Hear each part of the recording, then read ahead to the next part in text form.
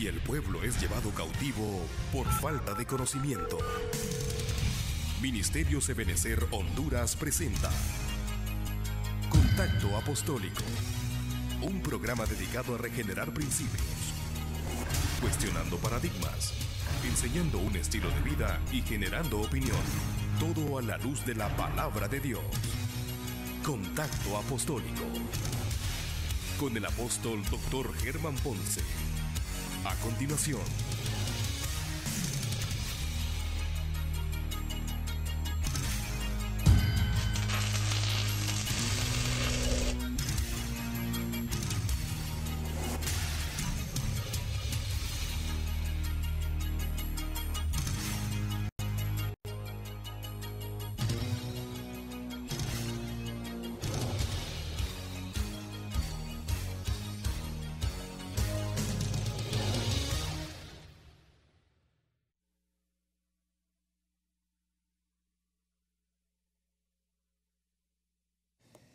les bendiga, mis amados. Gracias por estar aquí con nosotros en este nuestro programa de contacto apostólico. Cómo el tiempo transcurre, no se detiene, los cambios cada día se efectúan, uno tiene que ser una persona apta para absorber todos los cambios. Y como ya este es el último día del mes de enero, estamos ya eh, comenzando eh, ya el día de mañana el segundo mes y, y bueno, ha sido una bendición poder estar en este mes ahí viendo cómo reiniciamos todo en Dios. Así que queremos agradecerle a todos ustedes que nos sintonizan a través de Radio Estéreo Más 98.5, que vamos ya de costa a costa. Les agradecemos una, una, bendición muy hermosa.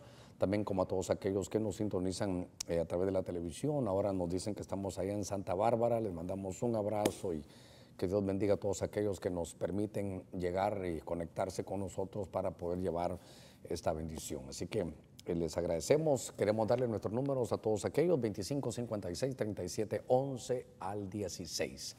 También, tenemos el 96 76 88 88 y el 87 30 93 36. Para nuestros hermanos de Estados Unidos, Puerto Rico y Canadá, queremos decirles que el número es 786 y el número 2 45 51 26. Un saludo para la, la, iglesia allá también, en, de Iglesia Benecer en Miami, en Florida, a Gerardo, a todos los que están por allá también, al apóstol Sergio, que está eh, el día de ayer, ya operó su ojo izquierdo y gracias a Dios ya está bien. Ahora el lunes hay que seguir orando para que su ojo derecho también ya sea restablecido. Eh, Queremos eh, decirles que nuestro correo electrónico es contacto apostólico y a todos aquellos que están a través de las redes sociales. Eh, este es el momento cabal para los que están en el Twitter, Facebook y estos blog. Es, es el momento ahora para que podamos hacer las consultas y de alguna manera poder extraer de la escritura todos aquellos principios que nos van a servir de vida. Papá, tenemos la primera llamada del programa de Bagdad, eh, Irak desde Irak. Oh, con nuestro hermano de Irak, aquí lo saludamos. Adelante, Dios te bendiga. Eh, buenas, buenos días, hermano pastor. Sí, bendición, estamos para servirte. Un gusto saludarlo. Eh, eh, ya estoy de regreso en mi lugar de trabajo. La verdad fue increíble, pues, compartir con toda la iglesia ya, ¿no? Lo que fue el, el, inicio, el inicio de año ya, ¿no? Claro, claro. Um, hermano, me gustaría que pues que oraran por mí, por favor. Aquí las cosas están un poco difíciles. Ay, sí, me gustaría que oraran por mí, hermano pastor. Con todo gusto, no tengas pena, no hay necesidad que nos des detalles. Sabemos lo que dónde estás y ahora mismo vamos a orar por ti. Te agradecemos esa llamada ya desde Irak, que uno de nuestros hermanos hondureños estuvo con nosotros aquí en la, nos abrazamos, nos vimos, nos conocimos. Eh, aquí para la, para la vigilia. Y yo le rogaría a todos aquellos que están con nosotros que hagamos una oración. Es un hombre hondureño que está prestando su servicio militar allá en Estados Unidos, eh, pero en, Irak. Así que estamos orando por el Padre. En el nombre de Jesús, Señor, creemos en tu buena palabra. Y sabemos que tu palabra, Señor, es viva y eficaz y más cortante que toda espada de dos filos. Te pedimos, Dios mío, que protejas a tu siervo junto con todos los que estamos en este programa, oramos, Señor, por nuestro hermano, para que tú allá en Irak lo protejas, que tus ángeles, Señor, estén con él, que en el lugar donde él está tú lo cuides, lo protejas y que él pueda regresar con gozo, Señor, a contar las grandes cosas, Señor, que tú has hecho con él allá. En el nombre de Cristo lo ponemos en tu mano a tu siervo, Señor, amén y amén. A ver, Germán, ¿qué tenemos? Eh, Papa, la siguiente consulta nos viene por medio del correo electrónico y dice, Pastor, mi consulta es la siguiente, mi hermano menor quiere entrar a corros, pero no sabe si tiene que inscribirse o solamente tiene que ir a los ensayos. Quiere, quisiera que me diera un poco de información acerca de todo esto, qué tiene que hacer, dónde se practica, en qué parte de la iglesia. Bueno, lo primero que tiene que saber es que tiene que atravesar ya eh, corderitos, es la parte del ingreso en todo lo que hacemos para dejar a cada uno de los miembros del cuerpo de Cristo debidamente integrados. Así que mm, es importante que sepas que primero lo que hay que hacer es pasar por corderitos y luego ya, eh, ya luego te puedes inscribir, hablar con Carlos Flores, es el anciano. Eh, los ensayos el día jueves y el día sábado puedes llegar ahí el jueves a las 3 de la tarde y el sábado también a las 3 de la tarde, pero es importante que primero sepas que deben, tienes que pasar corderitos, que cabalmente ha comenzado en esta semana. A ver, Germán. La siguiente consulta nos viene por medio del Facebook que dice, tengo mucha duda, eh, eso de la unión de cuerpos o espíritu al momento de, algún, de, estar como una sola carne, ¿verdad? Con alguien. ¿Cómo uno puede desprenderse de este tipo de espíritus o ataduras? Si uno tuvo un romance hace tal vez más de un año y meses, eh, ¿cómo sé si ya no hay espíritus de unión? Eh, no he vuelto a caer, dice, estoy comprometido a casarme. Ambos esperamos eh, casarnos para llegar a este punto. Pastor, ¿cómo me, me purifico? También dice, vamos a ver, y otros deberían de hablar como, bueno, si quieres vamos por uno por uno, ¿verdad? Porque es otra consulta. Yo creo que lo primero es que sepas que no siempre se queda uno ligado, pero en el libro de Génesis 34 hubo una relación prematrimonial entre Dina y un príncipe, creo que se llamaba Siquem, y él cuando tuvieron ese encuentro y unen sus cuerpos, su alma se quedó ligada. Por eso el problema sentimental es de los más grandes que hay y no se entiende bien si no se estudia la luz de la escritura porque las almas se ligan, se quedaron ligadas las almas. Entonces, cuando alguien se une, dice un solo, ya, ya, no serán dos, sino una sola carne. Entonces, al estar conectados, pueden fluir espíritus de un lado para otro. Por eso dice, creo que en el libro de Corintios, que el que se, una, el que se une a una ramera, un cuerpo es con ella. Entonces quiere decir un solo cuerpo con toda la parte espiritual adentro. De pronto pueden haber contaminaciones, pero ¿cómo se purifica? La Biblia dice, huí de la fornicación. El que confiesa y se aparta alcanza misericordia. Entonces, si ya no, si ya te si ya te apartaste, con eso te estás limpiando. Y con eso, con eso está bien. Ahora con eso puedes rehacer tu vida, reiniciar tu vida eh, como la Biblia lo dice, buscando, buscando pues la paz y la santidad sin la cual nadie verá al Señor. ¿Qué más tenemos con nuestro hermano? Sí, el hermano concluye su consulta eh, y pregunta, ¿deberían de hablar un poco, dice, acerca de, de, cómo una persona debe de vestirse, siempre estando ante Dios y, y, en su vida común? Bueno, es que, que se vista uno, cada uno con decencia, ya decirle cómo la gente debe de vestirse, ya eso mm, creo que ya no es tarea pastoral sino claro, eh, eh, conforme el Señor se va ensanchando, es necesario que Él crezca para que yo mengue. A medida que el Señor va tomando parte en nosotros y cada día va eh, agarrando más espacio, lo, nuestro va saliendo. Por eso que nos estamos como tomando la imagen de Cristo Jesús. Solo es como un escultor, mira un pedazo de piedra y dice, oh, ahí está una imagen hermosa, pero le tiene que quitar todo lo que sobra. Es lo que están haciendo con nosotros a medida que el Señor está a medida que el Señor vaya tomando eh, en nosotros esa bendición y que el Espíritu Santo se está desarrollando en nosotros, tú sabrás, tú, cuando tú te pongas algo que ya no está bien, el Espíritu Santo te va a decir, yo creo que eso no, creo que hasta aquí no, es una voz interna. La guianza es lo más hermoso que hay en el Evangelio, porque ya no es de hombres, quítate, ponte esto, haz el otro, sino tú mismo te vas a sentir bien o te vas a sentir mal, vas a sentir una incomodidad o vas a sentir paz, de acuerdo a cómo te vistas, tanto seas varón o seas dama, ahí el Señor te va a decir, tú adentro de ti tú te vas a hacer, tú te vas a sentir eh, bien o te vas a sentir mal. Claro. Eh, la siguiente consulta, Pa, nos viene por medio del Facebook que dice, Pastor, soy una oveja suya y sirvo en la iglesia, estoy casada y tengo una bebé de dos años. Me cuesta distribuir mi tiempo en el servicio ya que mi esposo no es aún convertido. ¿Cómo hago, pastor, ya que él me permite servir? Pero a veces se siente mal, ya que como usted sabrá, el domingo se sirve todo el día, luego el martes, jueves, viernes y sábado. Bueno, aquí eh, tu caso es muy importante y gracias por, por, por eh, poderlo ver aquí a la luz de la escritura. Creo que lo primero que hay que hacer es, claro, agradar a Dios, sí, pero luego hay que agradar a tu esposo. Entonces, máxime que tu esposo no es cristiano, entonces eh, eh, entiendo, no sé en qué equipo estás, pero si estás en servidores eh, y tu esposo no es cristiano, entonces podrás hablar con el anciano de servidores y decirle, mire, yo puedo venir el martes o voy a poder venir el viernes, el domingo solo voy a poder venir en la mañana, lo, lo puede avisar. Sería bueno que también en uno de esos él, venga contigo un día que no te toque servicio para no dejarlo ahí solo, pero el punto es cómo hacerlo. Ah, otra cosa, el, bebé, tu servicio, el Señor ahorita es cuidar tu bebé. Ese es un gran servicio que estás haciendo porque los niños son herencia de Dios, los niños son, Dios nos los da para que los desarrollemos, pero realmente son herencias, le pertenecen a Él. Entonces, el que cuides a tu hijo y cuides a tu esposo ya es una gran tarea si aparte de todo te queda un tiempecito para servir al Señor, yo diría que busques un, un, equipo de servidores donde te toque cada cuatro semanas servir para que no se sienta tan, tan tan fuerte eso.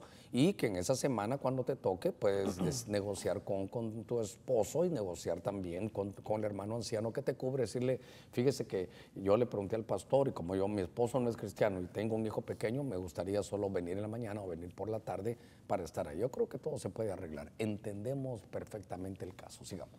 Recuerdo eh, que que estuvieron ahorita en el retiro de pastores y, y, se, y, el, y creo que el hermano Julio nos decía de cómo uno debe de convertirse en el mensaje, ¿verdad? Más allá de, de ser el mensajero. Y, y, si en algún momento uno, de, uno puede llevar el mensaje a alguien que tal vez todavía no es convertido en casa, ¿verdad? Puede pasar que tal vez este, por esta por este afán del servicio, se puede haber algún tipo de abandono, se pueda sentir así, ¿verdad? Sí, claro. Que realmente es mucho mejor mensaje el que puede llevar ella, ¿verdad? Ella puede ser mucho mejor mensaje, eh, tal vez ocupándose también del cuidado de él.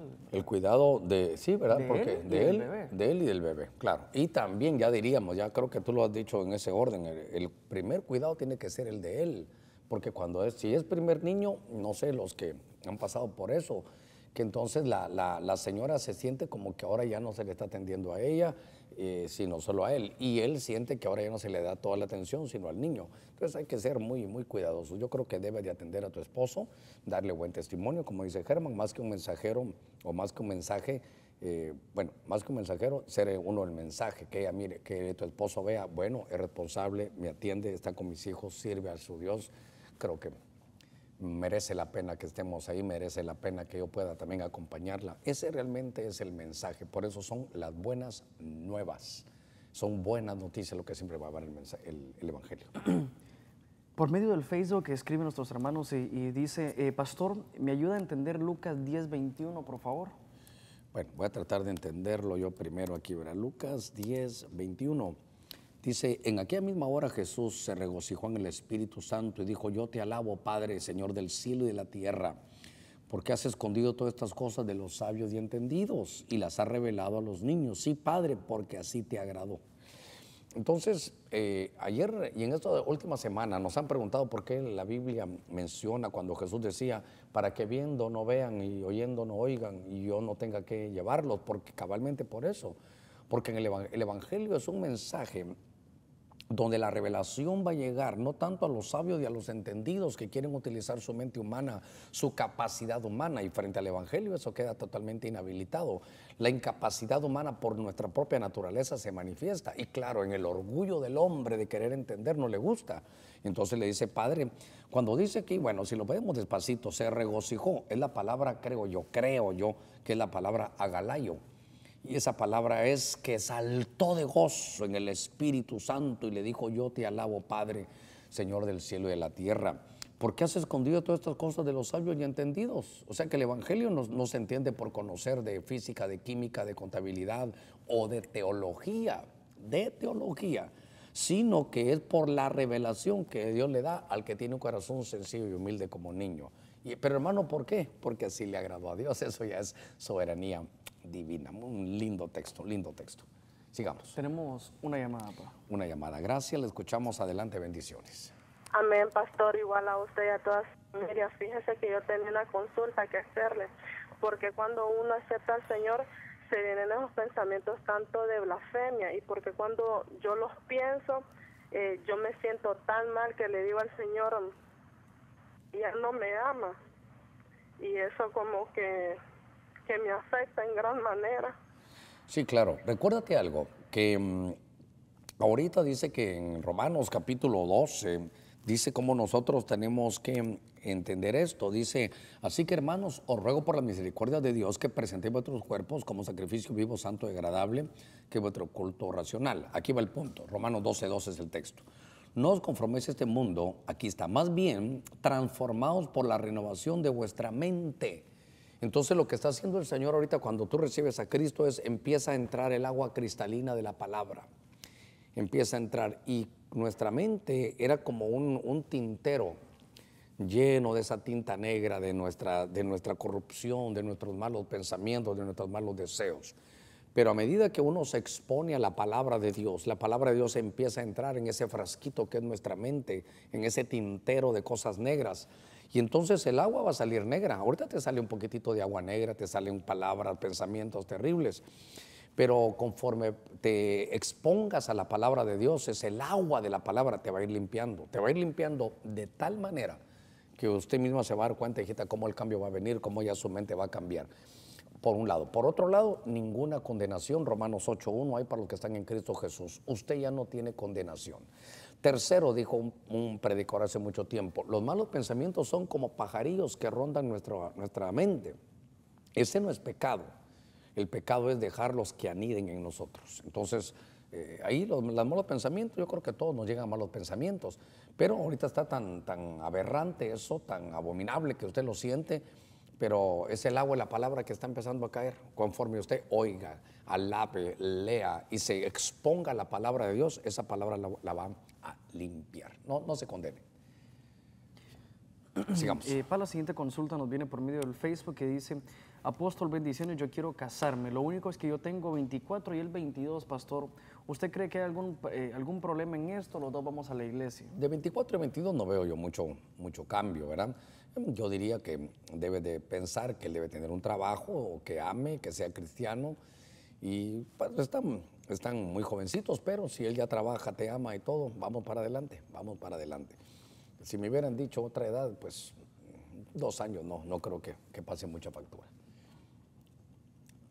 Por medio del correo electrónico nos envía esta consulta y dice, Pastor, bendiciones, ¿puede explicarme Deuteronomio 28, 53 al 57?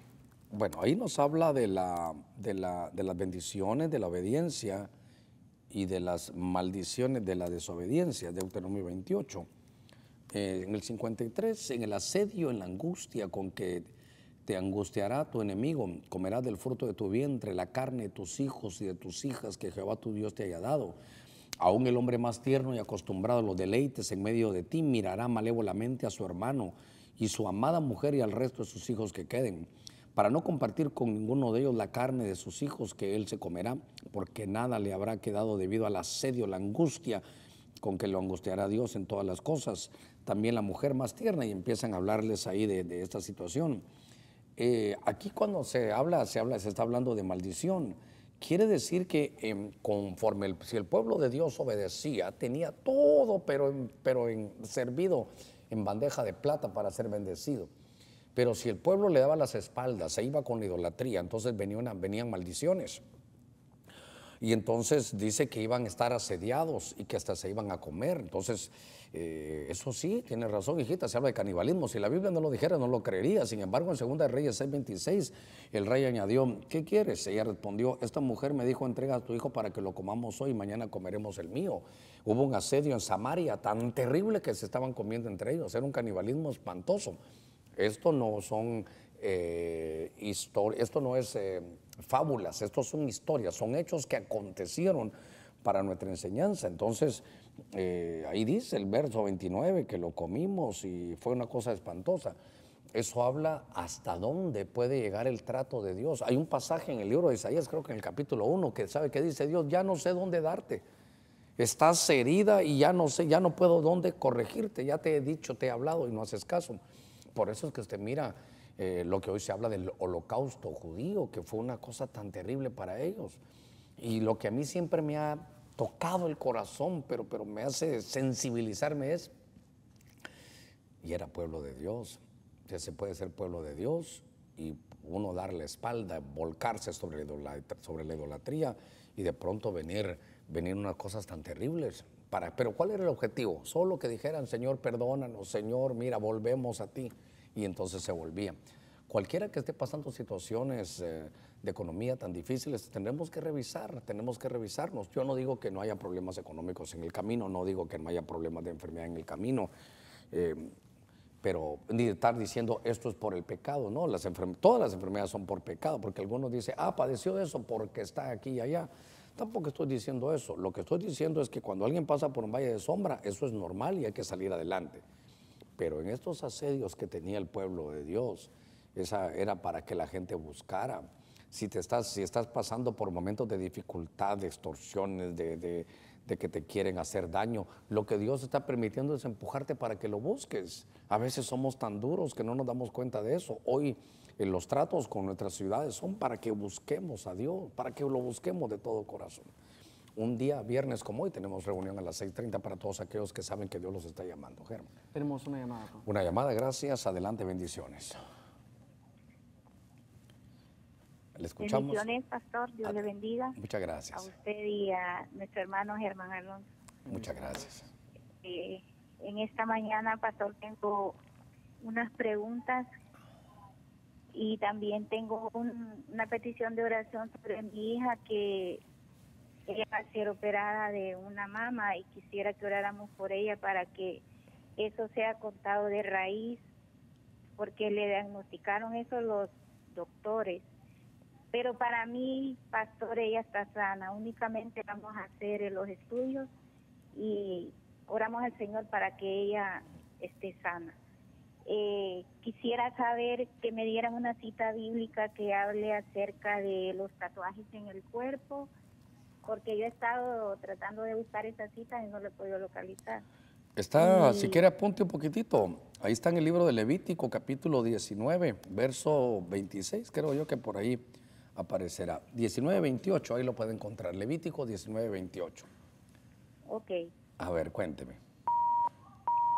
Eh, también, no sé, yo quisiera tener como una reunión con usted y mi pastora, eh, eh, ya que somos familia y somos de casa también, y ya día estoy pidiendo esta reunión con uno de mis ancianos, pero no he tratado de localizarla y yo quisiera que usted nos ministrara como familia y quisiera tener una cita con usted, no sé cómo puedo hacer para lograr esa cita. Bueno, eh, cabalmente hoy hablamos con una persona que venía y le decía que me dijo, pastor, me urge que me atienda ahorita, ahorita antes de entrar al programa, un hombre de los que conocemos, de los que están siempre aquí con nosotros en todo el desarrollo. Y entonces yo le contaba, ¿verdad? Que tenemos una agenda. Hoy cabalmente salgo, tengo cita con el banco a las 2 de la tarde, luego a las 3 eh, tengo una, una, administración, a las 4 otra, a las 5 y media la otra, y luego viene el culto. Entonces, lo que hemos hecho en la iglesia es seguir el, el modelo de Moisés de Éxodo capítulo 18. Lo que primero se hace es que lo atiende un anciano. El anciano de su equipo es el anciano que se va a encargar de poderlos atender si el, anciano que cuando se llama a la iglesia, por lo menos en el ministerio, no solo es querer ser anciano, es poder, es poder, poder y querer. Es decir, que él quiere y puede, y puede atender. Entonces, ellos la van a, la van a atender primero. Cuando después que la atiendan, si las cosas no quedaron como ustedes pedían, entonces el mismo anciano me va a decir, pastor, yo ya atendí, esto es lo que hemos hablado y ellos quieren que ahora pueden hablar aquí con ustedes. No sé si todavía la tengo en el teléfono. Bueno, eh, quería que hiciéramos una oración también por su hija, Padre, en el nombre de Jesús. Mira, Señora, tu sierva, que Señor va a una operación, te pedimos que quites, Señor, con las manos de esos médicos, que quites todo aquello que está dañando su vida, todo aquello que está dañando ese cuerpo, que es templo y morada tuyo. Lo pedimos todo en el nombre de Cristo. Gracias, Señor, amén y amén. Eh, Papa, la siguiente consulta nos viene por medio del correo electrónico y dice, em, Dios le bendiga, pastor, necesito un consejo. tengo año y medio de haberme bautizado, soy madre soltera, trabajo y estudio en la universidad. No he querido agarrar un cargo en la iglesia ya que me es muy difícil por mi poco tiempo que le dedico al estudio y a mi hijo de dos años y medio. Sí. Pero sí trato de ir una o dos veces por semana. En diciembre del año pasado me propusieron tener un grupo de crecimiento en mi casa. Y dije que lo iba a pensar ya que dijeron que había que comprometerse a asistir todos los días al culto y a reuniones. Pues siento que no tengo la capacidad para, para llevar tanto, ¿verdad? Y algunos hermanos dieron eh, que ese era un pretexto para no comprometerme. Wow. ¿Verdad? Incluso también el pastor dijo que yo lo había decepcionado, aunque después me pidió disculpas, pero todo esto, pastor, eh, realmente me ha dolido, ¿verdad? Se me han bajado los ánimos y tengo un mes y medio de no ir, ya que quiero casarme, ah, quiero pasarme, perdón, nada que ver, quiero pasarme a la iglesia en donde siempre he querido permanecer.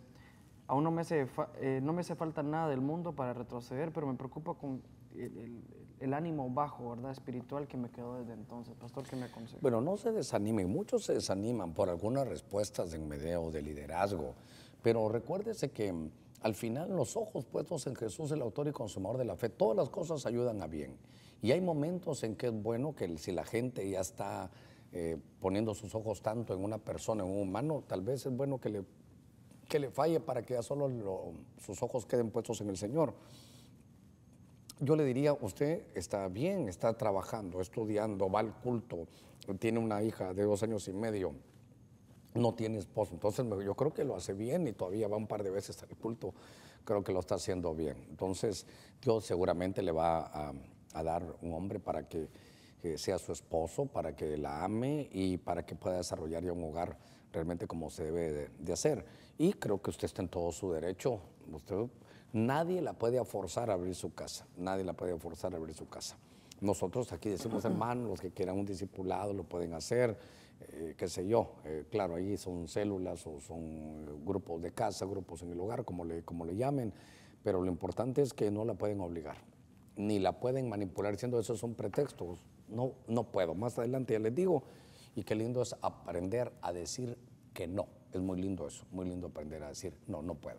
Hermano, que son las cosas como usted las quiera llamar, pero no puedo. Hasta ahí ya no. Es, hasta ahí creo que ya cometemos abusos o los liderazgos de mando medio pueden cometer abusos también. Sigamos. Eh, esta consulta de nos viene por medio del Facebook que dice, Dios le bendiga, pastor, ¿puede explicarme dónde estaba Daniel cuando mandaron a los tres jóvenes al horno de fuego? ¿Tiene algo que ver con, el, con, la, con, dice, con la tribulación, con la gran tribulación, este acontecimiento? Puede ser que lo podamos aplicar así. Daniel estaba en el palacio Daniel era el consentido, Daniel estaba en el palacio. Entonces aquellos, si usted se da cuenta, a los cuatro les quisieron cambiar nombre. A ellos les pusieron Sadrach, Mesach y Abednego. Pero Daniel le querían poner Belsasar, pero no lo lograron. Daniel no, Daniel no se dejó cambiar nombre. Esto es muy lindo el mensaje ahí. El nombre es la palabra Shem en hebreo, que de alguna manera también significa oficio. Él no se dejó que le cambiaran su oficio. Yo te dijera, no dejes que Babilonia te cambie tu nombre en la aplicación sería no dejes que la confusión religiosa te cambie tu oficio, te cambie de camino. He conocido yo algunos ejemplos tan, tan dolorosos para mí, eh, de gente que yo he conocido, que tenían para mí ministerio, venían pero galopando para tener un ministerio. Y alguien vino, sobre pretexto o bajo la sombra de que era un gran profeta, y le dijo, tú no eres para servir en el altar, tú mejor dedícate a los negocios. Y lo sacó de todo.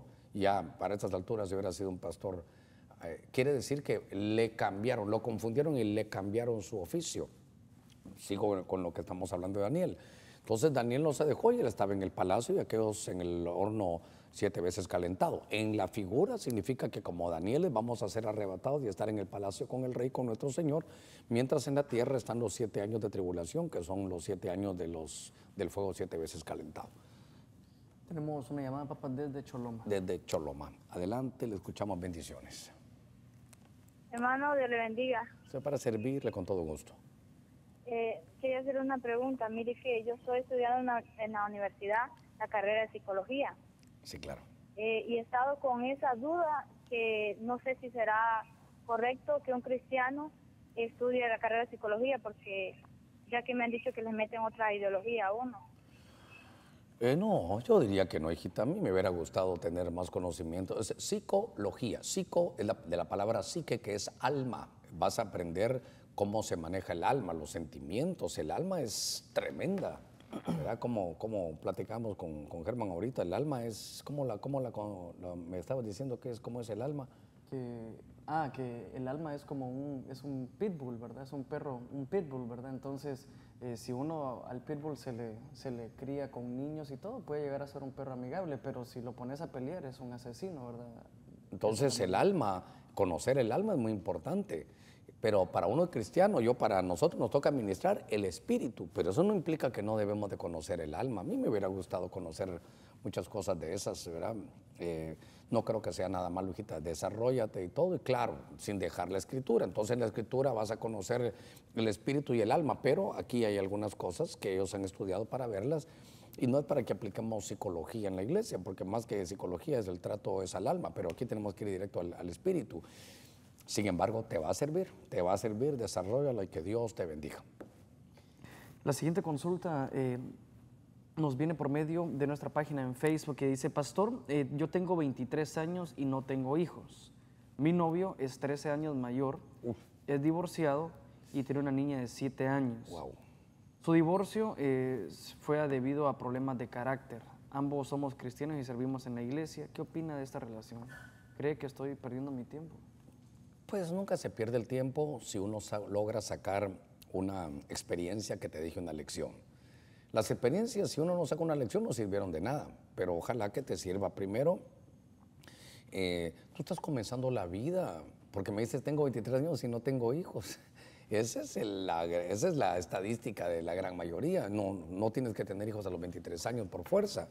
Yo dijera que termines tu universidad y me parece que, aunque no, yo no conozco al muchacho, tal vez es un buen hombre, entiendo que él tendrá aquí como 36 años, te lleva 13 años. Eh, los gustos más adelante van a cambiar, hija, van a cambiar. Le decía a un hermano que mi suegra me lleva 19. Es importante que, que lo vean ya que las conocen aquí, ¿verdad? Que mi suegra me lleva 19 años. Es bueno que, que se mire la diferencia para el que quiere tomar ese tipo de decisiones. Yo dijera, hijita, que, que está muy grande. Aparte, aparte, me parece también eh, que, mm, que él ya tiene formado un hogar. Sí, pero se dejaron, no fue por adulterio, eso, eso lo, lo- lo imposibilita a él a, reanu- a reanudar su vida y a ti a reanudarla con él. Por otro lado, ¿qué vas a hacer si la niña, ¿cuánto tiene ya? Una niña Siete. de siete años. Eh, tú le llevas 16, entonces te das cuenta, él te lleva a ti 13 y tú 16, casi igualita la, la diferencia. Entonces me parece que, que- que de chequearlo. Eh, no va a ser fácil para ti. mm, cuando yo te digo, usted no es mi mamá, dentro de siete años tú vas a tener 30 y ella va a tener 14 y va a estar en la edad en que tendrías que aguantar. Por otro lado también, cuando tú tengas tu hijo, no vas a tenerla a ella más grande. Se te va no hay necesidad que compliques tu vida. No Yo te estoy aconsejando como que fueras mi hija, ¿verdad? No, gracias a Dios, como aquí no conozco nombres, no, no me veo presionado a que, ay, al hermano yo lo conozco, ah, fue aquel que me pintó la casa, fue aquel que me regaló esto, porque si no uno puede sesgar su respuesta. Si mi consejo te vale, yo diría que no. Yo diría que no. Eh, es consejo, es sugerencia. Tú ya eres mayor de edad, puedes hacer lo que quieras, pero te vas a enfrentar a un hombre que ya tiene compromiso y por lo que me has contado, no fue por adulterio. Eh, aquí voy a sacar otra, otra lección, que por eso la, experiencia la hay que verla. Entonces, ¿por qué fue que se separaron? Por incompatibilidad de caracteres, ¿verdad? Porque no se entendían. Y si después de unos años ya con un par de hijos ustedes tampoco se entiende contigo, también te va a dejar para buscar otra. Es una consulta, es una pregunta que yo te hago a ti ahora. Deberías de chequearlo tú también. Voy a saludar a los que están cumpliendo años hoy, último día de enero 31. Hoy Carlos Alberto Andrade, Claudia Elizabeth García, Cristian Gerardo Mariona, Cristian Mariona. Eh, también voy a saludar a Dunia Cañas, a Elvin Armando Cruz, a Fanny Jacqueline Hernández, a Héctor Orlando Escobar Gómez, a Jamie Alicia Benítez Pineda, a Joel Asaf Beltrán Lara. Nuestro hermano José Roberto Rodríguez está cumpliendo años, igual que Juan Autulio Murillo. También saludamos a nuestra hermana Kenzie Johanna Rodríguez, a Leslie Merari Fernández, a Mirna Xiomara Alvarenga, Olga Undina Lanza. Un abrazo para Olga Soyapa Roque, para Saudi Rafael Oviedo, para Virginia Mata Sánchez de Velázquez, a nuestro hermano Wilfredo Dubón, a Yanila del Carmen Auxume Solís. Y ya que estoy en la jugada, voy a saludar también a los del sábado. El día de mañana, ya primero de febrero, Ana Elvia Torres Bautista, Bessie Mejía, Carlos Eduardo Valladares, Carlos Enrique Parada, también Armen, o perdón, Carmen Soyapa Díaz, Edwin Leonel López, Eva Soyapa Hernández, Francisco Isaac López, Giselle Berenice Orellana, un saludo para Iris del Carmen Herrera, para Jennifer Marisa Ponce Menéndez, Jorge Alberto Ramírez, Jorge Arnaldo Caballero, está cumpliendo años también. Julio César Cáceres, Carla Gabriela Paz de Sandoval, Keren García, Alemán, Laura Santos Rodríguez, Lourdes Lisset Alas, Manuel Enrique Núñez, Maribel de Cruz Paz, Marisela Córdoba, Maura Serrano, Mirna Jocelyn Claros, también a Nora Marisela Girón, eh, Chacón, también a Silvia Cristel Villeda, Stephanie Nicole Dox Montes, un saludo para la familia Dox, Stephanie también, que está cumpliendo años el día de mañana, y a Yajaira Elizabeth Chacón Gutiérrez. A ver, sigamos. Eh, para la siguiente consulta nos viene por medio del Facebook que dice, Pastor, eh, es una bendición escuchar, dice, mi pregunta es que yo soy mayor siete años que la mujer que me gusta, ambos somos cristianos, ella tiene 29 y yo 36. ¿Qué opinión Bueno, ya qué son. me da? Es que, ¿sabe dónde se da el problema máximo de la edad? Cuando ya, cuando ella es muy jovencita o muy jovencito, ustedes han avanzado, tampoco siete, ocho años, qué sé yo. Es que uno le puede decir, pastor, entonces al fin, ¿cuál es? Solo eh, yo he visto matrimonios con 10, con 12 años de diferencia y han caminado, han caminado. Todo puede caminar, pero eh, se requiere. Conocí una pareja en Guatemala hace muchos años, él era un piloto y él tenía cinco, ella cinco. Ella quedó viuda, él quedó viudo, se casaron. Y entonces aún ellos tenían los suyos, los míos y los nuestros, todavía tuvieron hijos y eran cam- 11 o 12 hijos y hasta el día de hoy creo que les fue bien. Solo que hay que saber tomar sus decisiones. Yo creo que, que ya están en momento, ustedes, ella ya es una mujer, una dama, tú también eres un varón, ya un caballero, y yo creo que ya pueden formar su hogar. Si la- los dos se aman, son cristianos, y no tienen un pasado ahí que pueda salir adelante sin que alguno de los dos lo sepa, vayan para adelante. Bueno, pareciera que el programa va a ir dirigido a este tipo de consultas porque la siguiente consulta dice algo parecido. Dice, Pastor, una muchacha de 28 años con un hombre de 40. Ambos sin hijos, ninguno se ha casado. ¿Pueden tener una buena relación adelante? Y la relación es igual, eh, ninguno. También, ¿verdad? Ellos van a la iglesia y ninguno... Es que lo, va, a ser, va a ser la misma respuesta, ¿verdad? Porque son 12 años, son ya 28 y 40. Cuando usted tenga 40, él va a tener 50. Cuando usted tenga 40, él va a tener 52. Entonces, eh, cuando usted tenga 40, él va a estar como está el pastor. Entonces ya, ahora me invitan a jugar fútbol, ya, ya no voy, ya no juego, ya son otras cosas las que... Entonces los gustos van a cambiar. eh, tal vez eh, usted cuando juegue, hay un juego de fútbol aquí, bueno, ahora ya nos toca ir al mundial, pero cuando estaban los juegos aquí, tal vez usted va a querer ir al estadio con su pintura en la cara y él va a querer ir a ver una obra de teatro porque va a costar un poquitito ahí. Los dos no tienen, no tienen am, eh, como se dijera, los dos no tienen eh, hijos, no han tenido pasado. Yo creo que también ella ya tiene 28 años, ya no es una jovencita que no sabe tomar decisiones.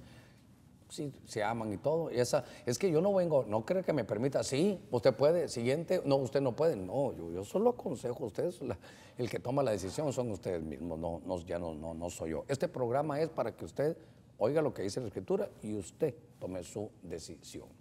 Tenemos una llamada local. Adelante, bendiciones. ¿Le escuchamos? Adelante.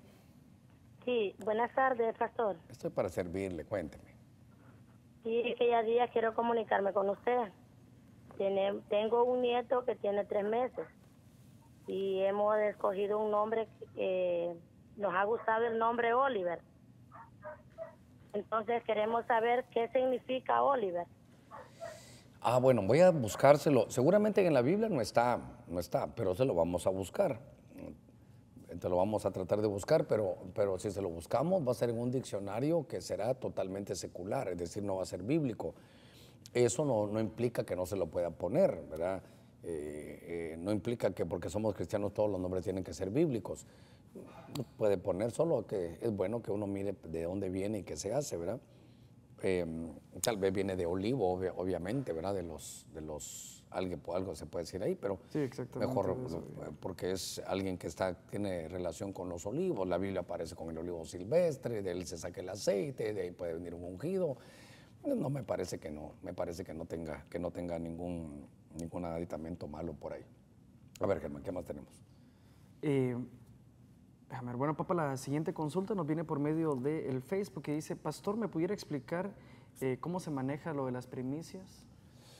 Bueno, eh, eso depende de cada ministerio. También otra cuestión, porque aquí la mano decía, y, o cómo se manejaba también en, en aquel tiempo. Bueno, claro, en aquel, es que cuando se el pueblo del Señor era, era eminentemente agrícola. Entonces, eh, la recolección de los frutos se daba en tres facetas, primicias, siega o cosecha y rebusco. La primicia era cuando el, el fruto ni había caído a tierra, lo cortaban del, del mismo árbol y eso, lo más preciado, lo primero, se lo daban al Señor. Entonces ellos llevaban sus granos eh, eh, y sus frutos, sí lo llevaban al Señor, diciéndole, Señor, esto era, y lo llevaban al templo porque oh, recordemos que no era un templo como los nuestros, era un templo, era una nación, no era una iglesia, era un solo templo en una, en una nación. Y entonces habían eh, turnos sacerdotales, entonces la gente necesitaba tener alimento para todos los sacerdotes que llegaban ahí o que desarrollaban su labor sacerdotal ahí, que eran los de la tribu de Leví. Entonces la cosecha, ya cuando el fruto caía, venía, estaban maduros, se recogía y el rebusco es lo que quedaba eh, para, las- para los huérfanos, para las viudas y para los extranjeros que quedaban en el límite de los campos. Eso no se tocaba, sino eso lo tenían que recoger ellos. Entonces primicia era darle al Señor lo primero. Entonces, si yo pudiera traer eso y aplicarlo ahora para el Nuevo Testamento, el diezmo es lo primero que debe de llevar. Decirle, Señor, de lo que me has dado, lo primero es para ti. Algunos dan su diezmo, pero ¿sabe cómo lo hacen? Bueno, voy a, pagué a ver cuánto me sobró, ah, si me alcanza, lo voy a dar. Y tal vez eso solo usted y Dios lo saben. Pero cuando alguien viene, Señor, esto es para ti. ¿Dónde darlo? A la iglesia donde usted se congrega. Ahí es eh, con el hombre que usted le ha puesto Dios para que lo pastoree, ahí es donde usted lo debe dar. Sigamos, hermano. Eh, bueno, Papa, la siguiente consulta nos viene por medio del Facebook que dice, Pastor, bendiciones, una consulta. ¿Existe, ¿Usted cree que exista vida inteligente en otras galaxias? Y si es así, ¿tendrán la misma doctrina que, que uno tiene aquí en la, en la Tierra? Es muy buena la consulta, seguramente que sí. Todo, el único creador que hay, que es decir, hacer algo de la nada, es nuestro Señor. Él es el, para él fueron hechos todas las cosas. Dice que de lo invisible se hizo lo visible. Entonces, hay tronos, potestades en otras dimensiones. Pero pastor, ¿habrá seres inteligentes? No, hombre, si esto, hasta ahorita hay unos líos ahí porque, el- lo, dijimos esta semana, el exmini- un exministro, una persona de gobierno de, de- de Canadá, de apellido Hellier, Paul Hellier creo que es, Paul Hellier les está diciendo que Estados Unidos ya lo tiene que revelar, si a todos lo sabemos. Yo puedo dar, dice él, él, Paul Hellier, dice, yo sé que hay cuatro seres, hay cuatro razas que nos visitan, hasta le ponen nombres, eso ahí me la reservo, usted estudielo, usted véalo. Ahora, eso dirán, pero pastor, ¿usted qué opina a la luz de la escritura? ¿Acaso no hay ángeles, arcángeles, que son otras estructuras creacionales? ¿Acaso no hay carros de Dios, se cuentan por mirías de millares, eh, según el Salmo 68? Para, hasta ahora el hombre está diciendo que hay, pero si la Biblia lo ha dicho siempre. Yo recuerdo cuando se hablaba de esto hace 20 años, Dios mío, eh, si hubiera vivido en otro tiempo hubiera estado yo en la Inquisición o me hubieran apedreado, pero esto aquí está en la Escritura. Hay otros seres, lo- los ángeles venían a visitar la tierra, se pueden metamorfizar. Entonces, eh, la- hay, hay otros seres, hay otras creaciones. Ahora, el Evangelio es universal. El- la, la labor para salvar a otras creaciones también es por la sangre de Cristo. Es un sacrificio para todo esto. es- Esto sí es universal. Entonces, eh, por ahí podemos mm, ir viendo que sí hay, claro que hay otras, hay otras estructuras creacionales. Sigamos. Tenemos una llamada, Papa, desde, desde Wisconsin. Desde Wisconsin. Adelante, le escuchamos. Bendiciones. Dios le bendiga mucho, varón. Muchas bendiciones. Muchas gracias. Eh, de acá de Milwaukee, Wisconsin, estoy hablando. Dios le bendiga, muchas Eh, gracias. Tenía dos consultas, pero también quería a ver si, cómo yo puedo eh, conseguir el, el- la predicación del Congreso de Mario, que fue hace unos meses atrás. Claro, claro. Cómo yo puedo, este, porque es muy interesante. Entonces, quería, tenía do- dos, dos consultas. Y dice, cuando, cuando Cristo bajó al, al infierno, que predicó a los espíritus encarcelados, él, él no predicó para la salvación, sino como para evidenciar que Él vino a la tierra, ¿verdad? Sí, claro.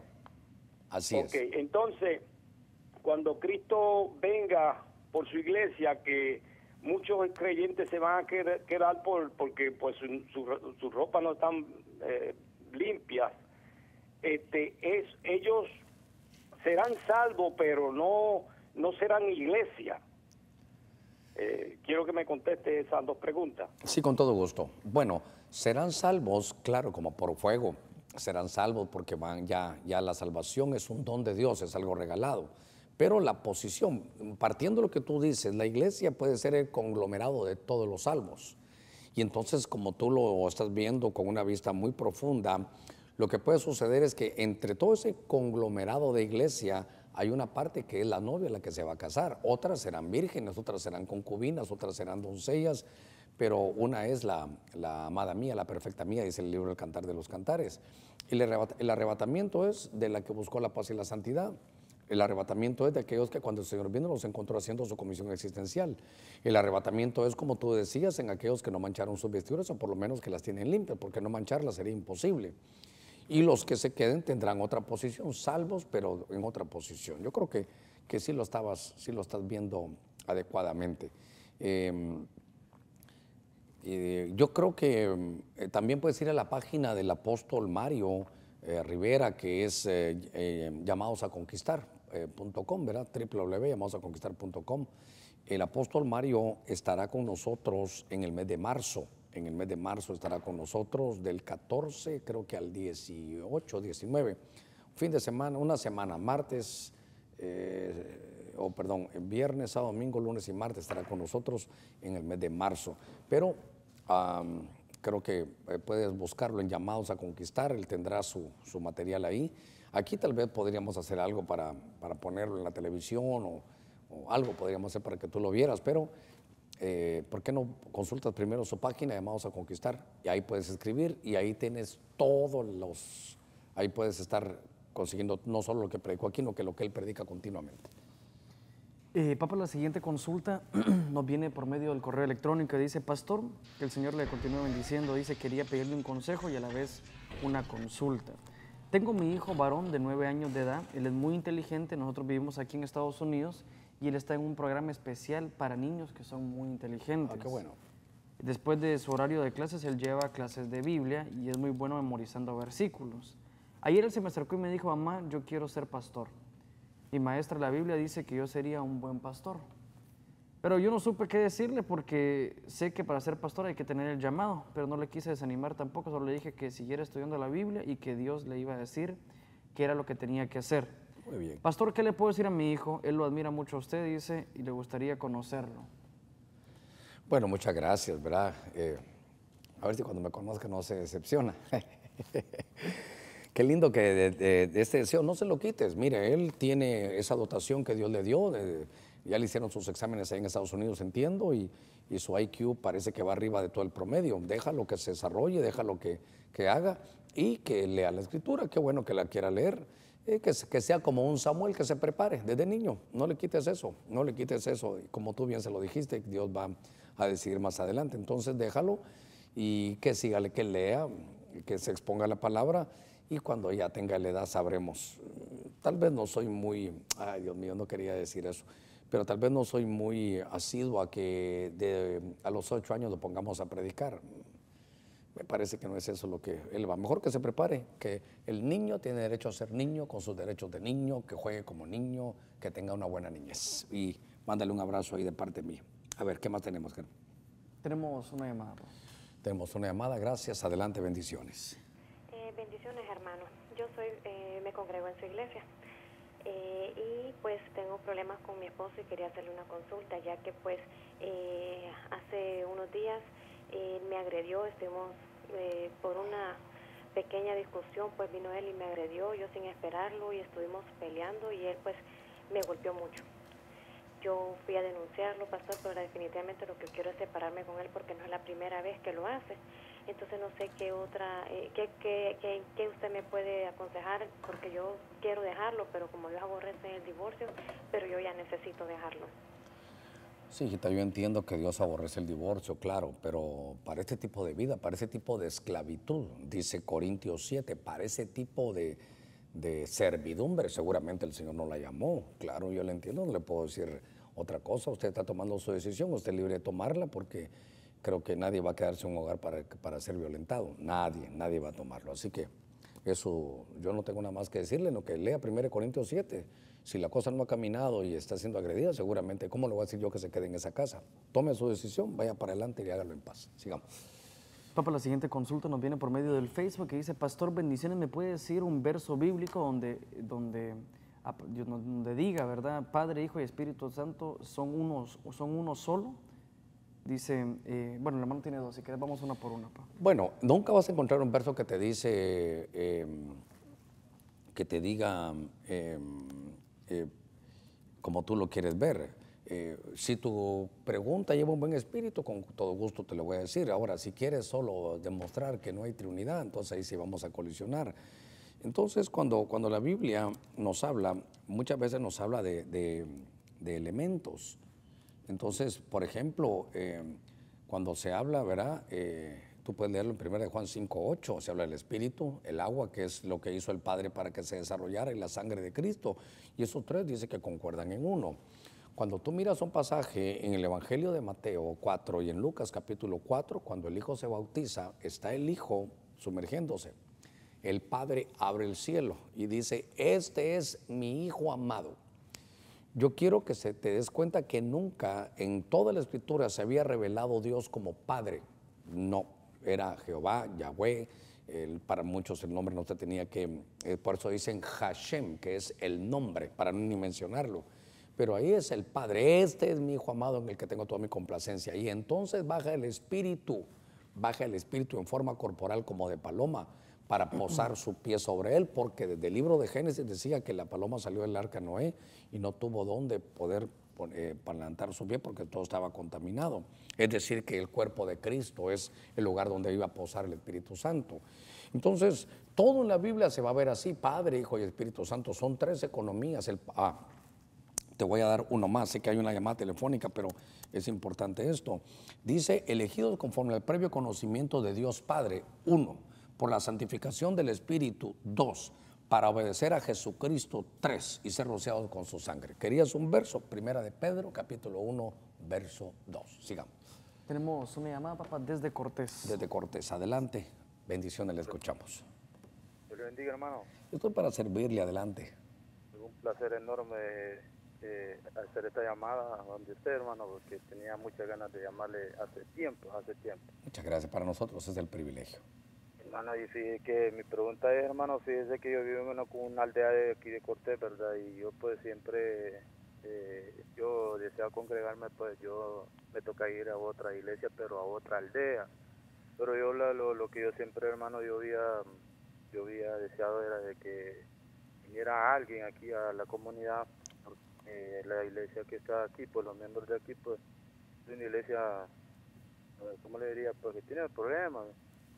No, no, no hay movimiento con los jóvenes ni nada. Y casualmente pues ayer, como le digo, yo estoy en otra iglesia, pero ayer vino un pastor, hermano, a insinuarme de que, que si podíamos, si yo, si yo los podía apoyar en, levantar un, grupo aquí, porque ellos están que, que no no pueden no hay no hay nadie porque él viene de, otra aldea más lejos no hay nadie que nos motive entonces yo lo, lo pregunto a mi hermano que si eh, ¿qué, hago pues verdad por lo que yo he deseado ahora ya sé lo que yo decía pues verdad ahora me viene pero yo ya estoy yendo a una iglesia hermano pero si es más lejos es bien lejos donde yo voy. Pero en la comunidad donde yo vivo lo que yo había deseado hasta ahora eh, sale lo que yo decía. Entonces la pregunta mía es, ¿qué hago? Pues si, si en verdad estoy ahí con ellos o hablo con mi pastor, porque sé que tengo que hablarlo, pero, pero si por, la distancia, pues digo yo, ¿qué, ¿qué, podría hacer yo en ese caso, hermano? Bueno, no hay cosa mejor, perdón, no hay cosa mejor que hacer las cosas en orden, porque tú eres oveja de otro pastor, entonces tal vez él está actuando mal porque tú ya tienes un pastor. Sin embargo, tú dices que tienes que ir muy lejos porque en la aldea donde tú estás no está algo de acuerdo a la visión que tú consideras que debe ser la adecuada.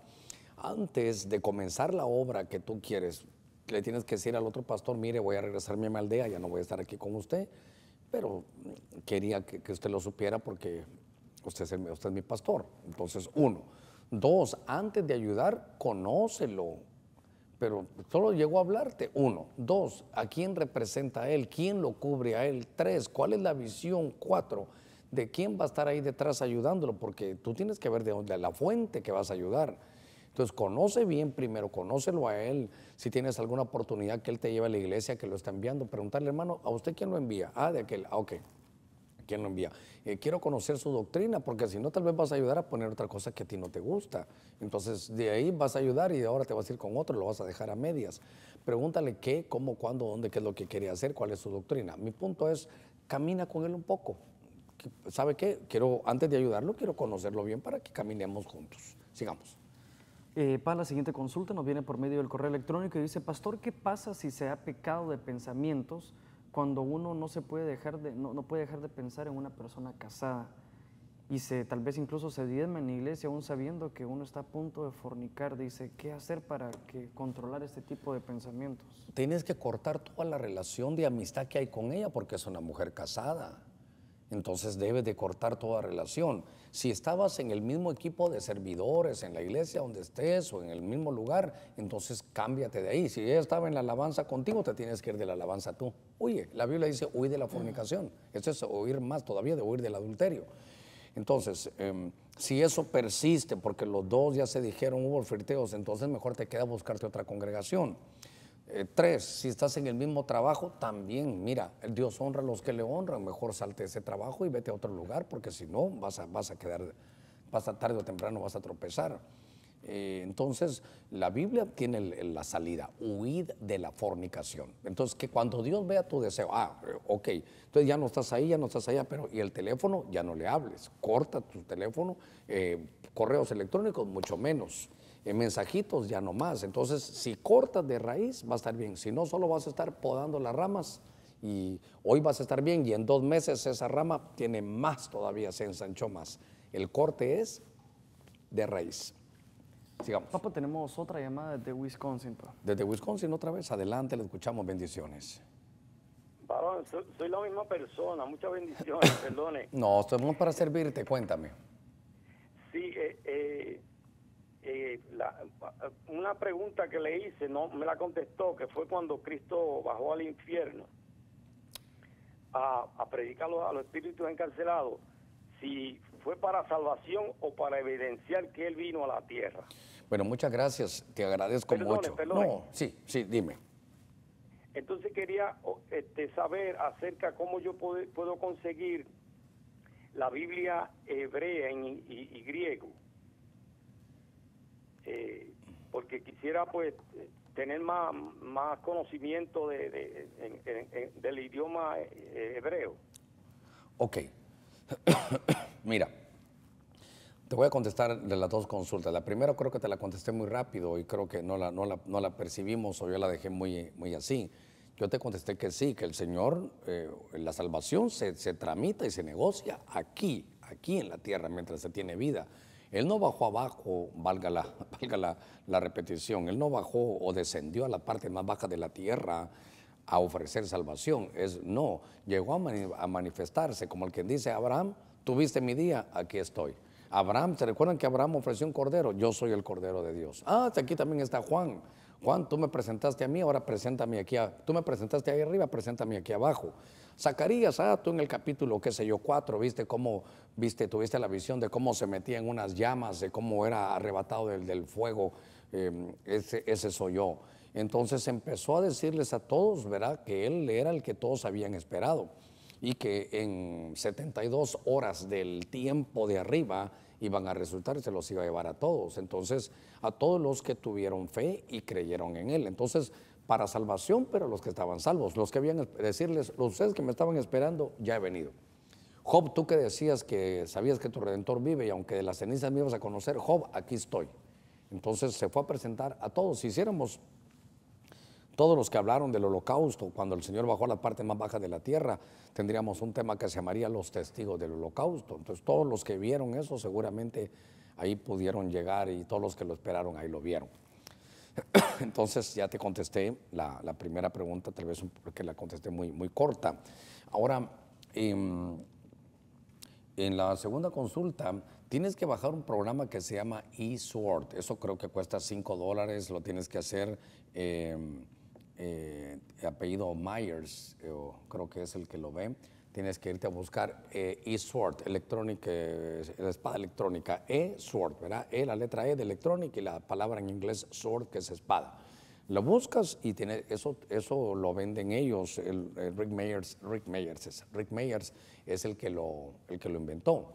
Entonces puedes después, ya que lo tengas instalado, ir a nuestra página en www.benecer.hn y bajar ahí, por ejemplo, la Biblia King James que tiene un signito de más para ti que vives allá en Wisconsin, que es la King James eh, Version, pero Plus, esa te trae todas las palabras en griego y en hebreo. Entonces ahí van a venir los, diccionarios, ahí lo puedes bajar para hacer un estudio más profundo de las escrituras. Gracias por tu tiempo, gracias que nos hables allá desde Milwaukee, desde Wisconsin. Un abrazo para ti y bendiciones. Germán. Papá, la siguiente consulta nos viene por medio del Facebook que dice, necesito que me aconsejen. Eh, yo visito, su dice, visito la iglesia hace un año, este año he hecho un pacto con el Señor de acercarme más a Él, por lo que estoy recibiendo corderitos para integrarme. Correcto. Mi esposo también es cristiano, pero está alejado y no quiere ir a la iglesia. Mis hijos van conmigo, pero mi hijo de 13 años tengo que llevarlo obligado. Dice que es una pérdida de tiempo porque Dios no existe, habla mal de la iglesia y no sé qué hacer. Siento que es mi obligación como madre llevarlos por el buen camino, pero ¿debo llevarlo obligado? ¿Qué puedo hacer con él para que cambie esta mentalidad? Eh, yo diría que sí lo puede traer obligado, porque cuando el pueblo de Dios salió de Egipto, no le preguntó a los niños si querían ir o no, y el camino era a través de paredes de agua, si iba a abrir el mar rojo, pudieron haber dicho muchas cosas, porque es menor de edad, usted ahorita está bajo la, la supervisión de él. Creo que su, su malestar ha de ser porque ve que papá, de alguna manera, él ya entiende que papá es cristiano y no se está portando como cristiano, no está buscando la iglesia. Eso va a hacer que tarde o temprano también papá despierte a la necesidad de buscarlo. Ahora su tarea es traerlo, que se exponga la palabra. Pero es que yo no creo en Dios. Bueno, que por lo menos le está diciendo la verdad porque él no tiene experiencia con el Señor. Y como hemos dicho, esto es un, dice la Biblia en Corintios, que es como un velo que no tiene, que el velo solo lo quita Cristo. Esto no es por convencimiento, esto no es por ciencia esto no es por ser sabio o entendido, lo leímos en Lucas ahí al principio del programa, esto es por revelación. Así que yo diría que si lo traiga, eh, pronto estaremos abriendo un espacio para trabajar con estas edades y vamos a ver cómo logramos ayudarle a su muchacho. Sigamos. Eh, Papa, la siguiente consulta nos viene por medio del correo electrónico y dice, apóstol, bendiciones, ¿la iglesia es sulamita o sunamita? Yo creo que las dos, porque cuando se habla de sulamita, están hablando, es el femenino de, Salomón. Entonces Salomón es pacífico, ¿verdad? Entonces ahí se habla de la Sulamita.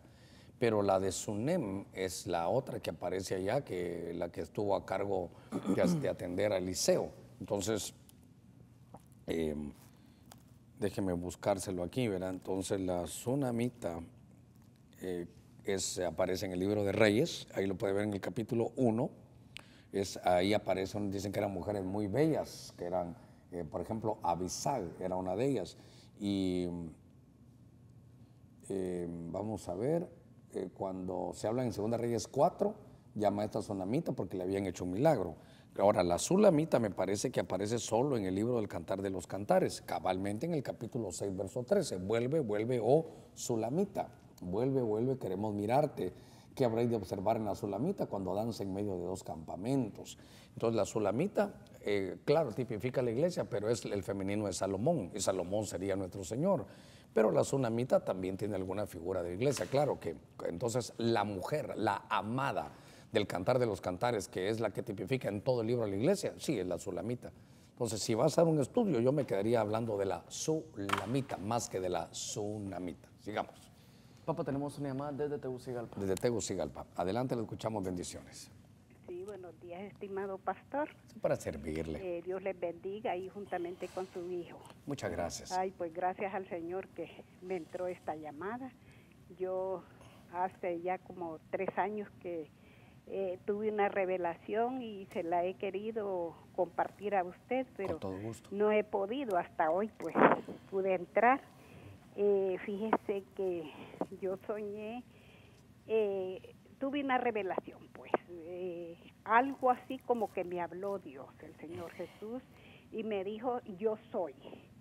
Eh, se lo voy a leer porque yo en cuanto salí de, eh, que entré como en un éxtasis, yo lo escribí, pero escribí lo que pude, lo demás pues no, no pude y me dijo, yo soy el sublime, el inalcanzable, el bendito, el amoroso, rescatador, resucitador, el que hizo que el mar rojo se abriera Ah, para que mi pueblo pasara, todopoderoso, celoso, cuidador, nuestro escondedero, nuestro refugio, nuestro pastor, pan de vida, fuente viva, divino, infinito, consejero, luz, escudo, baluarte, roca fuerte.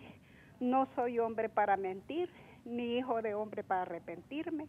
Yo vine a la tierra y subí a la gloria y desde aquí los cuido, los guío, hice el universo, el único, el ungido. Me dijo que me paren sus pisadas, que lo siga.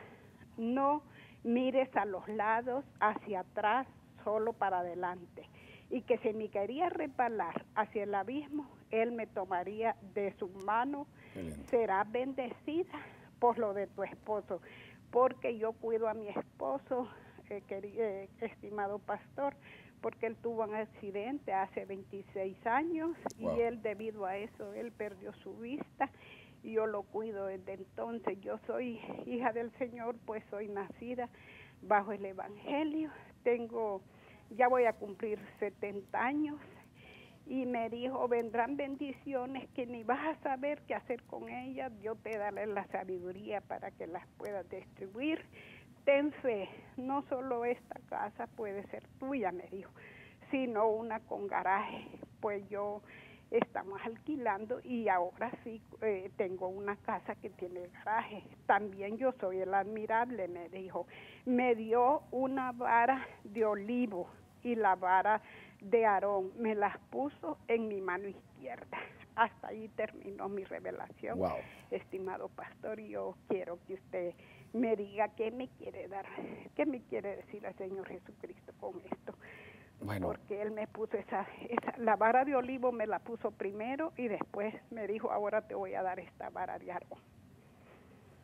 ok, muchas gracias. Em, em, ¿Qué le puedo decir yo? Es una revelación muy hermosa. Lo que el Señor le está diciendo es que Él es su todo. Él es donde usted lo necesite, para donde usted mire, ahí va a estar Él. Le dio todos sus títulos, admirable, consejero, Dios fuerte, príncipe de paz. Le dijo que él es, eh, usted depende de Él y que aún si tropezaba o resbalaba, Él iba a estar con usted. Eh, me, me tocó mi corazón cuando dice yo soy el que abrió el mar rojo, porque la revelación del nombre yo soy se la dieron a Moisés. Señor, tú nos vas a sacar de aquí si vas a abrir el mar rojo. Sí, ¿cómo le digo a la gente que te llamas? La gente va a preguntar, ¿cómo te llamas? Y le dice yo soy.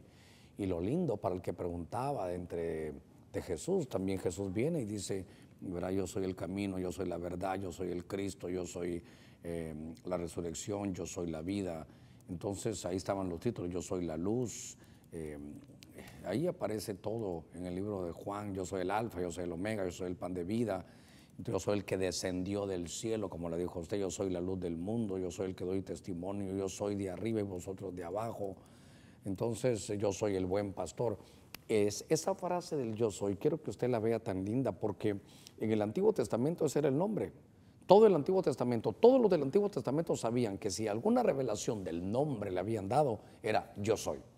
Y viene Jesús y le preguntan, ¿y tú quién eres? Y mire cómo dice Jesús, usted, ¿por qué le está hablando entre los hebreos? Yo soy el camino, yo soy la verdad. Lo que quiere enfatizar es la frase yo soy, que es lo que a usted le dieron. Así que es una revelación hermosa que el Señor estará con usted y que la va a seguir bendiciendo, que no depende tanto de capacidades humanas, sino como el deseo de darle dos varas. La vara es autoridad, le dieron olivo y la de Aarón. La de Aarón es almendro. Claro, la vara de olivo lo que le está diciendo es unción, habilitación para que cosas que usted piensa que no puede hacer las va a hacer. Pero la vara de, Aarón es la de almendro y eso sabe qué es, la que primero germina. ¿Qué, significaba eso? Le estaba diciendo Aarón que lo que él le había dicho, o a- perdón, no solo a Aarón, a Jeremías, ¿por qué lo voy a unir? Porque Jeremías tuvo la misma vara de, Aarón, no la misma físicamente, sino lo que le dieron era una vara de almendro, igual que la de Aarón. entonces es que lo que él le iba a decir, él le iba a dar tiempo para que lo viera. No como Isaías que habló y dijo, esta profecía será yo, ya ni la voy a ver, ni sé para quién la profetizo. Pero Jeremías es, lo que profetices, tú lo vas a ver. Eso es lo que Dios le está dando. Una linda, una linda eh, revelación. Si quieres la última consulta, Germán, y cerramos. Eh, sí, papá, la, la última consulta nos viene por medio del correo electrónico y dice, Pastor, mis hijos se crearon en una iglesia cristiana, dice, yo, yo los crié de acuerdo a, a, una madre que conoce perfectamente la palabra. Mi hija salió embarazada y mi hijo usó drogas y se ha metido en graves problemas. Mi esposo y yo creemos que el Señor les dio a cada uno un stop bonito, ya que amamos a nuestra nieta y ahora estamos confiando en que nuestro hijo no volverá a las drogas. Yo siempre estorbé su pecado, pero ahora tengo un cuñado muy molesto que me ha dicho que todo esto pasó por no permitir a mis hijos vivir de acuerdo a lo que el mundo ofrece. Porque no les dejaba ir a fiestas mundanas, no dejaba que tuvieran novio o novia, en fin, me ha hecho sentir como que soy una mala, una mala madre y que todo es culpa mí y de mi esposo. Pastor, cuando dediqué a mis hijos al Señor, lo hice confiando plenamente en Él, ¿verdad? Que ellos iban a estar seguros. No me arrepiento de todo lo que hice como madre, pero tengo mucha vergüenza de lo que mis hijos han hecho pero los amo y los tengo que apoyar. ¿Cómo le puedo explicar a la gente por qué mis hijos hicieron esto, aun cuando yo han crecido en el camino de Cristo? Es que no les tiene que explicar nada, usted no le tiene que dar razón de nada. Primero, eh, yo también hago lo mismo que usted, yo, yo diría que es lo que hay que hacer, pero muchas veces Dios permite que tengan experiencias. Ahora, ahora, ahora. Ese es usted de madre y en mi quehacer de padre yo también. Pero vámonos a lo sublime, a Dios nos hizo a nosotros sus hijos. ¿Y qué tal nos hemos portado como hijos de Él? Estamos inscritos en el libro de la vida, sí. Nos dedicó el Padre que nos eh, agarró con el previo el conocimiento, nos eligió conforme a su previo conocimiento. A usted y a mí, bueno, no voy a hablar de usted, de mí sí. Y tuve que pasar por vicio, tuve que pasar por esto, tuve que pasar por el otro pero como el Señor ya tenía, entonces, ¿para qué, ¿para qué Dios permite que pasemos eso? Para que seamos misericordiosos, para que seamos sensibles. ¿Se imagina cómo sería uno que uno tuviera hijos perfectos? Entonces, cuando algún hermano tuviera problemas, ¿cómo seríamos? Fíjese que mi hija está, échela de la casa, hermano, échela. Hermano, fíjese que mi hijo fumó, quémele la boca, hermano, quémele la boca. Entonces, cuando uno ya ha vivido eso, entonces uno es más misericordioso. Pero es que me da vergüenza. ¿Sabe qué dice en la Biblia? Que Dios no se avergüenza de llamarnos hermanos. Ni a usted, pero yo no la conozco a usted, pero a mí. Que Dios no se avergüence del hermano Germán. Ah, si el hermano Germán, ese es humano, ha hecho destrozos. Eh, falté a la, a la, fe un tiempo, me burlé de las cosas de Dios cuando no le conocía. Dios decía que lo que hablaba mal de los pastores, que lo último que yo sería era, era ser pastor y yo siempre hago esa broma, como que el Señor dijo, te lo tomo, lo último que vas a hacer en tu vida es ser pastor, pum, lo apuntó. Si Dios no se avergüenza de nosotros de llamarnos hermanos, ni se avergüenza de que somos sus hijos, Él no tiene de qué avergonzarse con la frente en alta. Su cuñado no entiende, Él lo juzga todo como, Él lo juzga todo como del mundo, ¿verdad? Déjele la vida loca ellos van a hacer. No, la Biblia nos dice que hay que estorbarles el pecado. Si a pesar de, que les demos buenos ejemplos, a pesar de eso los niños se tuercen y están dedicados al Señor, usted tiene esa fe, que la misma fe tengo yo, que al final Dios los va a llevar. Y mire, aquí los tengo ahora conmigo. Yo creo que para los que son nuevos en la iglesia, para los que son nuevos en la iglesia que yo pastoreo, tal vez ellos ni cuenta se dan, pero ver que mi hija eh, segunda hora canta al Señor, Dios mío, qué lindo de Anita, que le hemos traído desde pequeñita, de los dos años está en danza, ¿verdad? Ya, ya va a cumplir casi 14 años de estar en eso. Eh, que ahora ya está conmigo aquí en el programa, pero tal vez antes no fue así. Yo pasé eh, cosas muy similares y ahora ya están aquí conmigo y no me avergüenzo de ellos de ninguna manera. Le doy gracias a Dios y entiendo que para ellos y para uno es una cosa muy linda. ¿Sabe cómo es esto? Como cuando una, una, una prueba, la prueba suya o la prueba de sus hijos repercute en usted y en toda su familia. Es como cuando uno tira una piedra al agua. Entonces cuando llega, empieza a sacar sus ondas expansivas. Claro, mientras más lejos estén, menos se van a entender o menos se van a comprender. Pero usted estuvo en esos proyectos, en esos problemas y, ya ve cómo fueron el stop ahora, por lo que antes uno lloraba y uno decía, ah, pero es que qué vergüenza porque, porque eh, fue hijo de una fornicación. Y entonces yo voy a la Biblia y no lo mismo le pasó a David en pecado me concibió mi madre. Y no aquel jefte que tenía un, que, que su mamá no era tan bien portada, ahí el Señor lo eligió. Entonces, no le haga caso, él tal vez no, él lo mira de otro ángulo. Usted esté feliz, dichosa, disfrute a sus nietos, a sus hijos, siga adelante, porque a veces Dios nos permite estar en lugares escabrosos, que tropecemos para que finalmente seamos bendecidos. Antes de retirarnos, quiero saludar a los que van a cumplir años el domingo. ¿Tú querías decir algo o no? No, yo no sé si te acordás que, bueno, una vez estuvimos allá, con, allá en, la ciudad de Tela, ¿verdad? Y entonces eh, predicamos de que a qué te entregaron, ¿verdad? Y entonces eh, yo recuerdo cómo cómo el Señor manda a su Hijo, ¿verdad? Que, a, morir para que nosotros eh, no, no, no, viéramos la muerte, ¿verdad? Él cargó con el pecado para que nosotros pudiéramos ser salvos, ¿verdad? Y, todo este tipo de cosas, pero el Padre entrega, entrega a su Hijo al mundo, ¿verdad? Para que nosotros, que ahora ya somos padres, ¿verdad? Que ahora yo en mi caso ya soy padre, eh, no los entreguemos al mundo tampoco. Entonces, eh, como nos dice, ¿verdad? No, lo hubieran dejado vivir. Y me sentí muy identificado porque pasamos cosas muy similares, pero fíjese hermana que yo todavía incluso eh, siempre nos mantenemos con, con mi hermana eh, tratando, de, tratando de, de, sanar heridas que hicimos en ese momento de rebeldía, tratamos de recuperar el tiempo perdido que, que tuvimos. Mi papá, por ejemplo, antes me llamaba, eh, mira, te necesito, yo andaba en otra ciudad sin decirle tal vez. Ahora mi papá me llama y y, llego rápido simplemente con el afán de, de, poder recuperar el tiempo, los momentos, eh, eh, la, la, la, relación que en algún momento se vio desperdiciada. Entonces, tal vez esa mentalidad que le hayan dicho, eh, hombre, si eso es así, le hubieran dejado con el mundo. Realmente es porque todavía no han llegado a una madurez. Tal vez su bebé está muy chiquita, pero cuando ella ya sea una adolescente, lo menos que va a querer es entregarlos al mundo, ¿verdad? Es una experiencia muy hermosa, hermano, muy hermosa. Ahorita que entre que me compongo un poquito recordarme, pero también me dan risa algunos puntos. Em, era, yo necesitaba a mi hijo, quería hablarle, y entonces le dije, mira, te necesito. Eh, creo que pasado mañana cumplís años y quiero regalarte una tu camisa, pero quiero regalarte la que, que querías, quiero, estoy aquí en el lugar para regalarte esta camisa. Y entonces, eh, venite, te la voy a regalar, que, no sé qué camisa quería de un deportista, no sé qué. Y entonces ya llegó, no, pero yo, yo sabía que le gustaba la camisa. Ahorita te la voy a dar, mira, aquí está, venite así, no la compro yo a mi gusto. No, hombre, comprarla como querrás. No, papito, venite. Total de que no llegó. Y después supe que andaba en Tegucigalpa.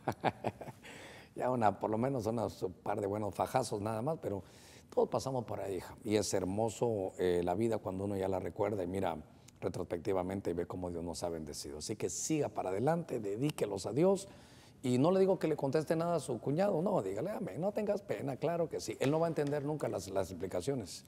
Eh, a veces queremos evangelizar así y eso no, no, se da así.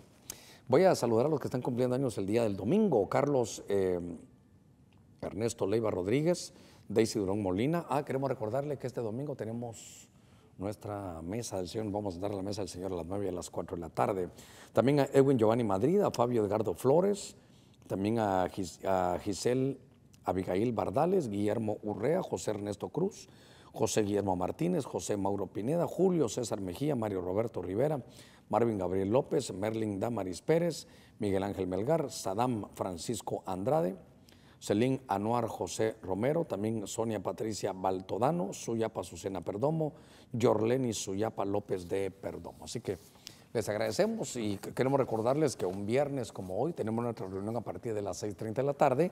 Queremos también decirle que este domingo tenemos eh, Santa Cena, nos vamos a sentar a la mesa del Señor y lo invitamos en otros horarios de 9 y de 4 de la tarde. A todos los que le tenemos un cariño muy especial al apóstol Sergio Enríquez, quiero decirles que el día de ayer se operó su ojo izquierdo. Notemos que cinco los dos tenían su daño, el ojo izquierdo.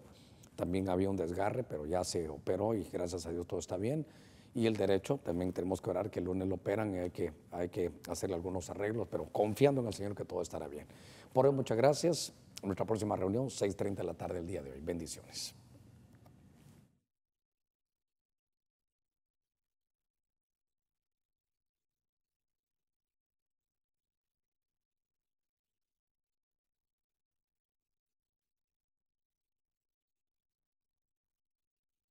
En el año del reinicio, Ebenecer Televisión, prosperados por la palabra.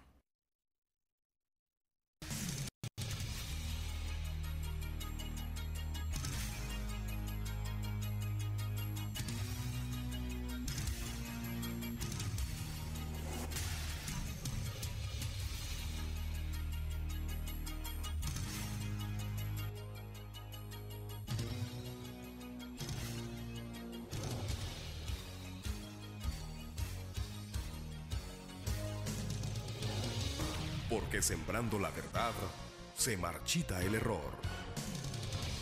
Ministerio Ebenecer Honduras presentó a ustedes Contacto Apostólico con el apóstol Dr. Germán Ponce. Si desea comunicarse con nosotros, escríbanos a apóstol.ebenecer.hn. Que el Señor continúe bendiciéndole. Ministerios Ebenecer, prosperados por la palabra.